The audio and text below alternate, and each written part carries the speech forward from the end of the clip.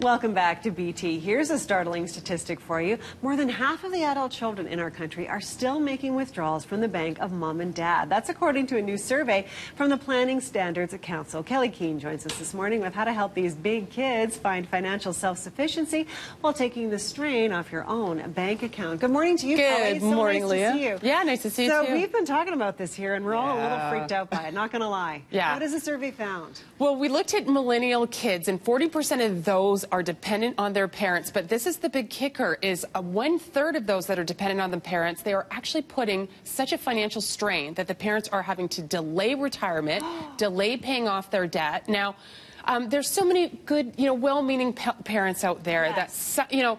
Sometimes it's the kids, sometimes it's the parents. So we'll, we'll get into that a little bit. But the real takeaway is you need to know if you can help the kids. And we're hearing today that interest rates are probably going to go up.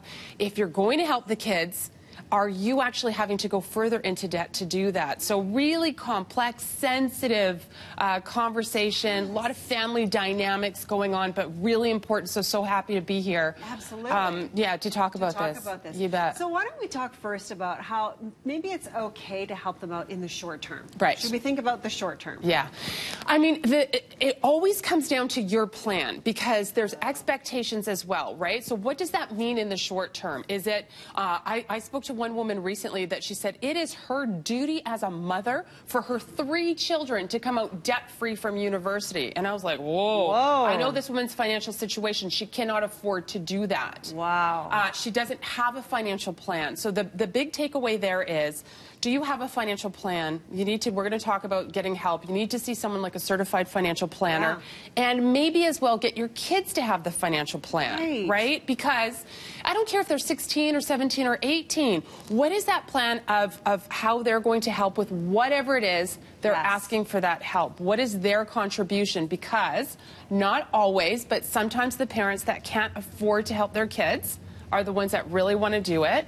And then I'm hearing more and more from the parents that are like the Warren Buffett school. of, Yeah. Uh, nope. Nope. Not helping You're them on your all. own. So you kind of have to figure out as well. Right. Can you help? And then what does that help look like? Right. Okay. So why don't we go from that spot? Yeah. So if we want to help our kids, how do we do this? And how do we do it, especially if there's siblings involved? Right. Yeah. Uh, again, you've got to look at, at that plan. You've got to also look at the your children. Now, Okay. um, some very well-meaning parents that were, you know, baby boomers that got to take advantage of their house skyrocketing and things of that sort. Right. They want to help their kids out maybe with a down payment uh, because you still look at Calgary real estate and it's insane for a young person coming Yes. out. However, can that child actually handle the mortgage, the maintenance, the property taxes? Are you, in fact, maybe setting them up for failure? Ooh, yeah. Or them wanting to get into a new business or coming back several times to mom and dad Right. because a business failed or, or they haven't got a job after university or whatever that might be. Right, right. Very sensitive issues. Now,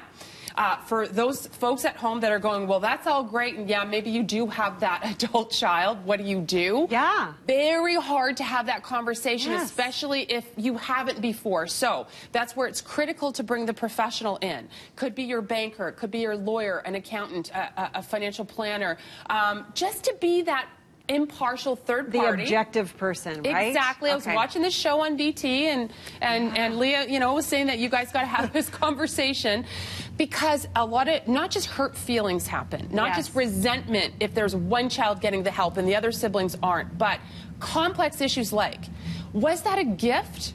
Or was it a loan for the business or the house or, or paying for your university? Okay. Is that coming out of the inheritance later? Right. What if that child then goes and marries someone that goes bankrupt or they get divorced? You see how this starts to get Yes, it snowballs. really, really quickly. Yeah. Um, so the takeaway is that doing nothing doesn't make it better. Right. right? Yeah. Just doling out the cash doesn't make it better not a or taking thing. from mom and dad. Yeah. Um, also, nothing wrong with if you think that there's some red flags that your adult child is actually in some financial distress. Yeah. Then you need to bring on someone like a nonprofit credit counselor, Money Mentors here in Alberta, Credit Canada. They have free courses. Um, it's a free call. There's so much that you can do because if your children are doing great, your Yeah. adult children, not okay to ask them what their budget is, not okay to ask them what they're spending. But if they're coming to you continuously for help, Yeah. then it is okay to say, you know what, we need to sit down. Help you get a budget, help you get your finances under control. Okay, and set them up for success all on their own. Exactly. Terrific. Kelley, thank you so much. Great advice Great as to be with always. you.